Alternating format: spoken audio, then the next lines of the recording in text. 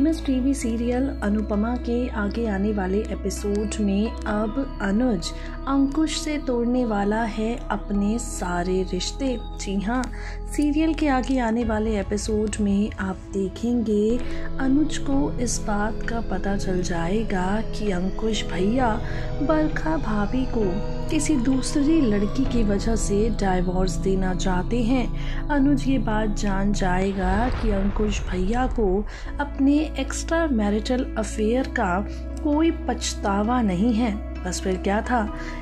अंकुश भैया की बेशर्मी देखकर अनुज कपाड़िया शांत बिल्कुल नहीं रहेगा। भाई अनुज अंकुश भैया को अपनी प्रॉपर्टी से बेदखल कर देने वाला है।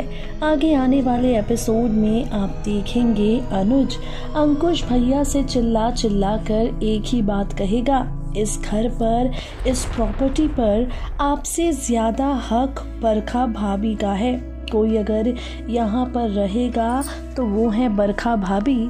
और कोई अगर कपाड़िया मेंशन से बाहर जाएगा तो वो है आप। बिखरते हुए परिवार को अनुपमा कैसे संभालती है? आगे आने वाले ट्रैक में देखना होगा।